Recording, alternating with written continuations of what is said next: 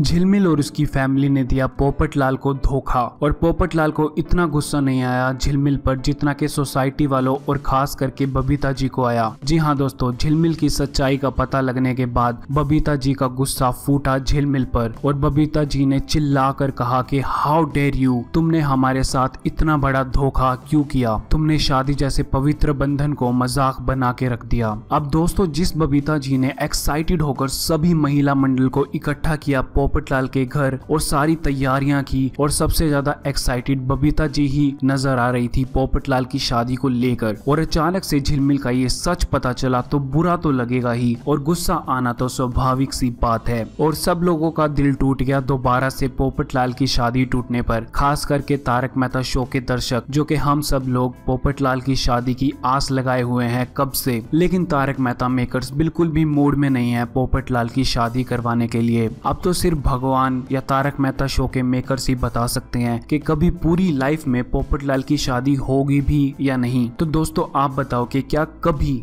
जब तक तारक मेहता शो चल रहा है, पोपट लाल की शादी हो पाएगी या नहीं? इस बारे में आपको क्या लगता है? आप अपने व्यूज़ नीचे कमेंट सेक्शन में ज़रूर शेयर करें और बॉलीवुड टॉक को सब्सक्राइब करना ना भूलें और बेल आइकन भी प्रेस कर दें ताकि आप आने वाली वीडियोस के नोटिफिकेशंस समय समय पर पाते रहें।